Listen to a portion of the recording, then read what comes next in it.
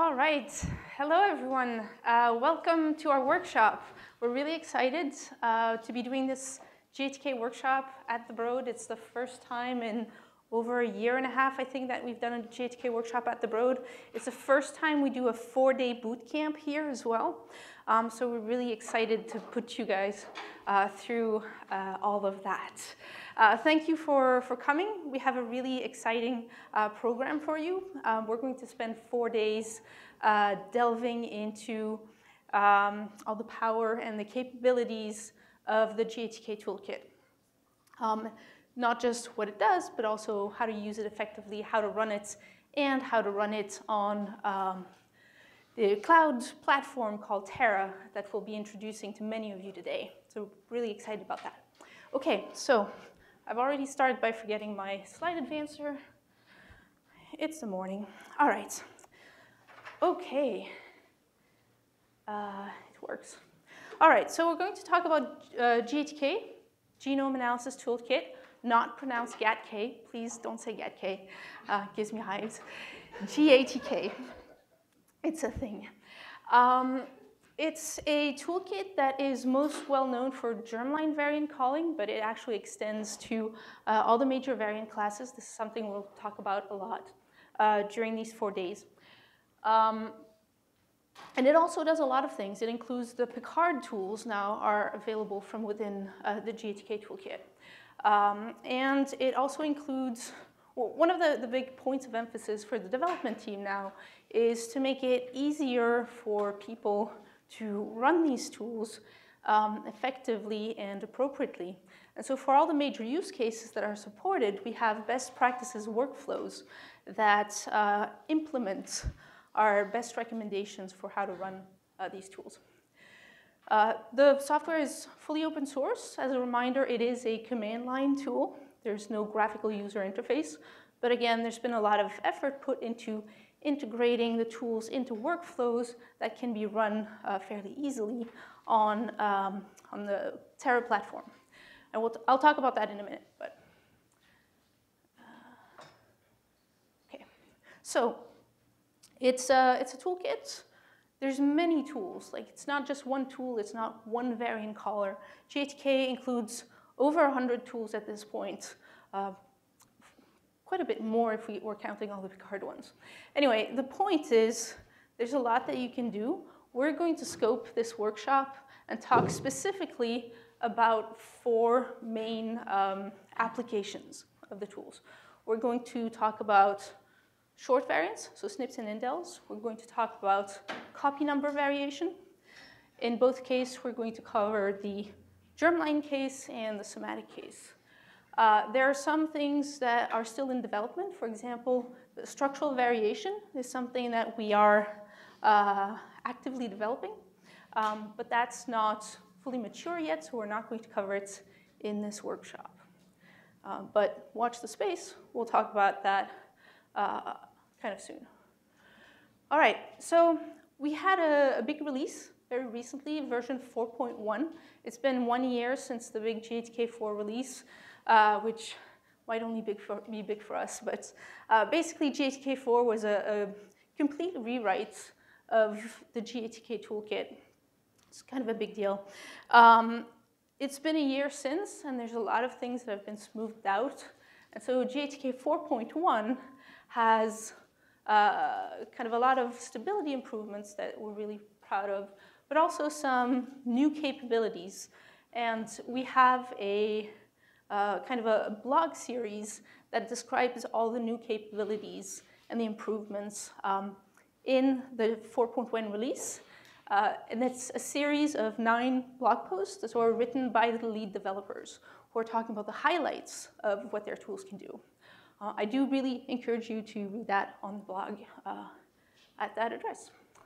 All right, so um, I just want to point out one more thing on here is that, as I mentioned, uh, there's the main uh, variant calling workflows that we're going to talk about during this workshop, but there's a few additional capabilities which we're not going to cover in detail, uh, but which may be really relevant and interesting for you. And so, for example, we have now uh, a workflow for mitochondrial variant calling. uh, with GATK, we have a workflow for uh, liquid biopsy analysis. So these are um, workflows that are kind of side use cases for us to some extent, but they're really interesting. Uh, they're uh, completely uh, mature, and so I really encourage you to check them out. Okay?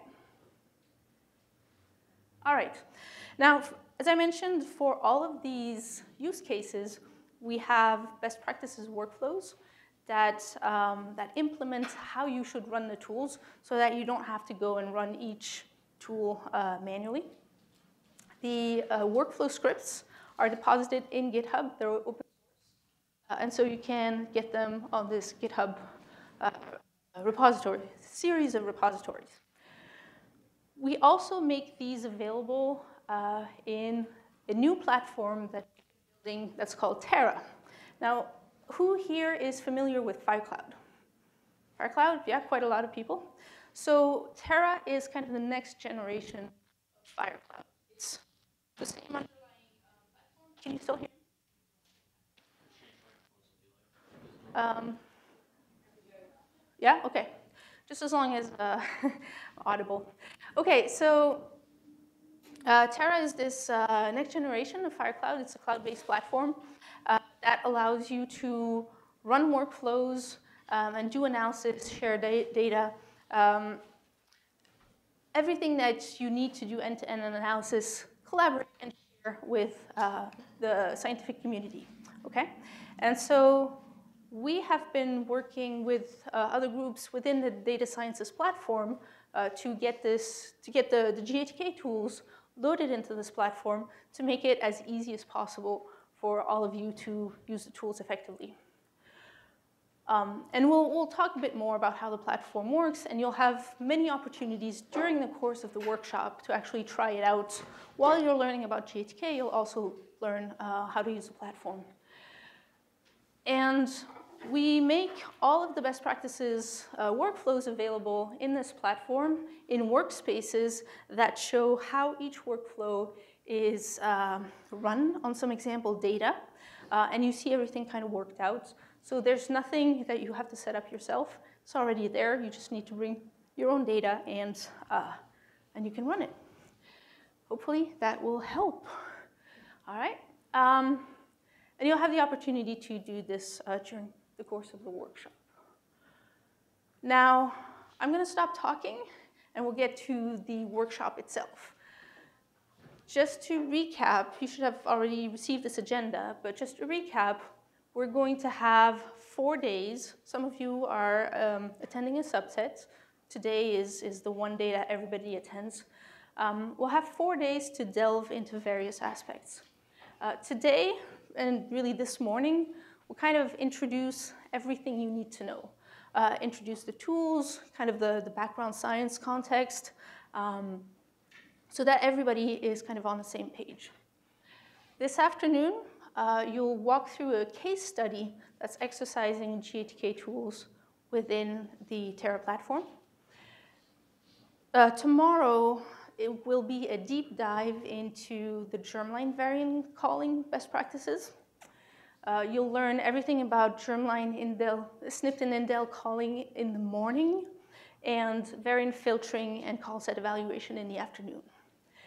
On day three, which is actually going to be Tuesday next week, because we couldn't get this room for four days consecutive, uh, on Tuesday, um, many of you will learn about the somatic uh, SNPs and indels calling in the morning um, and somatic copy number alterations in the afternoon. So that's the big somatic day. Uh, and finally, on day four, on Wednesday next week, uh, you're going to be learning about uh, more deep dive into the technical side of uh, writing scripts, workflow scripts, and running them uh, with uh, WDL and Cromwell, which is our pipelining system. Um, in the afternoon, there'll be some stretch topics uh, where you can learn about Docker, you can learn about BigQuery and Hail. So these are tooling that are related to GATK and that are kind of part of the, the life cycle of uh, an analysis that you might do with GATK. And throughout, throughout this workshop, there'll be hands-on tutorials where you'll have the opportunity to actually practice running the tools.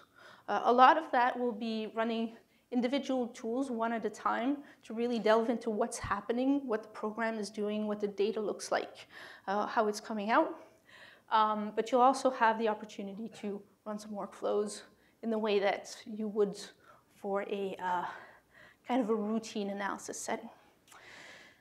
Um, so we'll have a series of speakers throughout these four days. Uh, many of them are actual GATK developers, so they know everything about the tools because they wrote them. Uh, we also have a number of people from my team. Uh, we're the support and outreach team. Uh, so there'll be a number of people from my team teaching the tutorials, uh, and they have crafted these tutorials to help you understand how the tools work, um, and we're very excited to deliver this to you.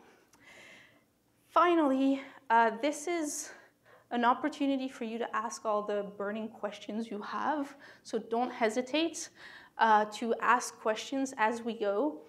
Uh, individual speakers may give you their preferences for either keeping questions to the end or just talking, uh, asking questions while they're talking. Um, they'll let you know. But by default, we're really here to answer your questions. So don't be shy, don't hesitate. Um, participate. All right? So without further ado, uh, we'll get on with the first talks. We're going to start with an introduction to sequencing that will be given by Mark Fleharty, who is over there. Any questions for me before, while we mic Mark up? Go ahead. If, uh, I'm mostly interested in somatic variant calling. Do you mm -hmm. think doing the day two with the germline variant calling useful for that? Is it sort of building on that, or are they independent? Um, we designed it so that they can be independent if you need to. But honestly, I would recommend if you have the opportunity, if you have the time, uh, because it'll fill in some of the details, and there's definitely some logical relationships.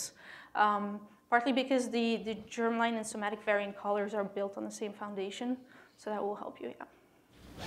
Question. Will the slides yeah. be available Yes, the slides are already available in Google Drive, um, and we'll send out the links. The link is sorry, the link is broad.io slash GATK 1903.